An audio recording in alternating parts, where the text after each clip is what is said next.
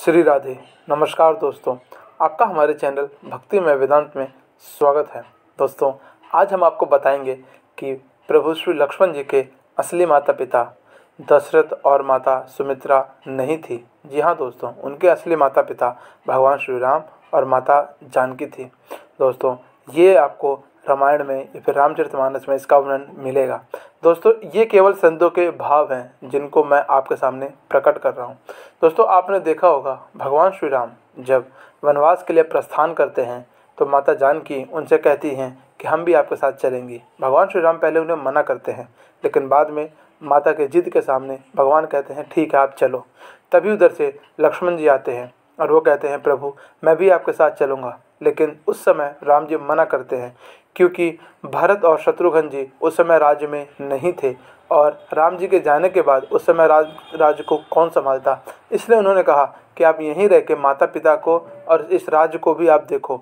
आपको यहाँ की ज़रूरत है। तब लक्ष्मण जी ने साफ़ साफ़ कह दिया कि नहीं प्रभु, मेरे माता पिता मेरा सब कुछ आप ही हो और मैं आपकी ही सेवा करूँगा। मुझे इस जगत से कुछ लेना देना नहीं है। भगवान श्री राम इस बात पे रिझ गए और भगवान ने बोला, ठीक है, जब इतनी ही जिद कर रहे हो तो चलो, लेकिन पहले आप जाके अपनी माँ से आज्ञा ज़रूर ले लो। दोस्तों, लक्ष्मण जी तुरंत वहाँ से गए और माता सुमित्रा के कक्ष में गए और जैसे ही लक्ष्मण वहाँ से गए तो प्रभु श्री राम मुस्कुराए और जानकी जी से बोले कि, देखा जानकी, ये कहता है कि मैं ही इनका माता पिता हूँ, लेकिन जब मैं ही इनका माता पिता हूँ तो ये आशीर्वाद लेने किससे गया है? इसका मतलब ये कहता है, लेकिन अभी मानता नहीं है। दोस्तों, जैसे ही माँ सुमित्रा के पास लक्ष्मण जी गए तो माता ने आने का प्रयोजन पूछा।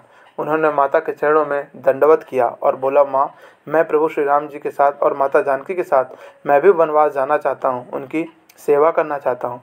दोस्तों, एक बार को माता स्तब्ध रह गई, लेकिन फिर माता ने पूछा कि प्रभु ने क्या बोला? उन्होंने बोला, भगवान ने तो आज्ञा दे दी है और उन्होंने बोला है कि आप जाओ, माता से आज्ञा लेकर आओ। माता ने पूछा, आपने क्या बोला था? उन्होंने बोला कि मैंने तो बोल दिया था कि प्रभु, मेरे तो माता पिता सब कुछ आप ही हो। मैं केवल आपकी ही सेवा करूँगा। तब माता सुमित्रा मुस्कुराई और बोली कि बेटा, जब तू कहता है कि तेरे माता पिता वही हैं, तब तू यहाँ मेरे पास क्या करने आया है? इस बात को सुनकर लक्ष्मण जी थोड़ा चौंक गए। बोला, माँ हाँ वो मेरे माता पिता हैं, लेकिन जन्म तो आपने ही दिया है। तब माता मुस्कुराई, बोला, बेटा, तू बहुत ही भोला है। मैं धन्य हूँ जो तेरे जैसे मैंने पुत्र को जन्म दिया। देख पुत्र, वस्तुतः तो है तो जानकी का ही पुत्र, क्योंकि इस देही दोस्तों, जिसको देह, जिसके पास देह और शरीर होता है, उसको देही कहते हैं। और जो देह होके भी देह रहित हो, वो विदेही कहलाती है। दोस्तों, जनक राज विदेह की पुत्री माता जानकी विदेही कहलाती हैं।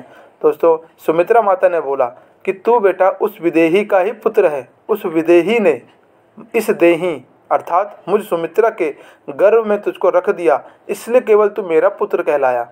दोस्तों, इस दृष्टांत को लक्ष्मण जी समझ नहीं पाए।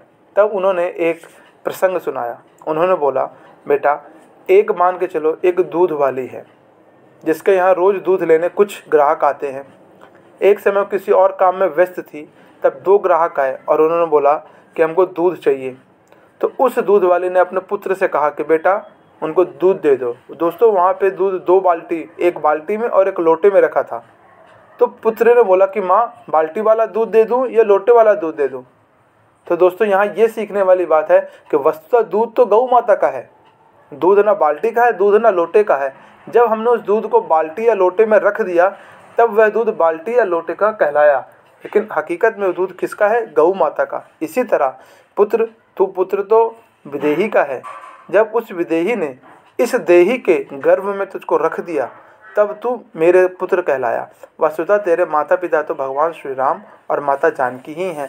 दोस्तों, इस बात को सुनकर लक्ष्मण जी माता के चरणों में दंडवत किया और माता ने आज्ञा दी और माता ने कहा, बेटा, याद रखना, जब भगवान श्री राम सो जाएँ तभी तुम निद्रा को जाना और उनसे पहले उठ के उनकी सेवा करना। जब वो भोजन करें तभी तुम भोजन लेना। दोस्तों, माता ने उनको ऐसा ज्ञान दिया कि सारे कार्य पहले प्रभु श्री राम करें, फिर आप करना। और याद रखना, भगवान न करे। अगर जो आप जानकी और माता और भगवान श्री राम के सेवा में आप सामर्थ्य नहीं हो पाए और उनको कुछ हो गया तो कभी भी आप लौट कर मुझको मुँह मत दिखाना। दोस्तों, ये था माता सुमित्रा का त्याग। तो दोस्तों, इस बात को संतों ने इस तरह विवरण करके बताया कि वस्तुतः भगवान श्री राम और माता जानकी तो पूरे जगत के माता पिता हैं।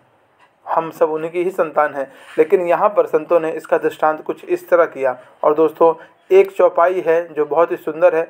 उसका विवरण भी हमको रामचरितमानस में मिलता है और उसका भी यही अर्थ होता है। दोस्तों, आशा करता हूँ आपको जानकारी पसंद आई होगी। और आप हमारे इस चैनल को लाइक एंड सब्सक्राइब करें और हमारे इस वीडियो को शेयर करें।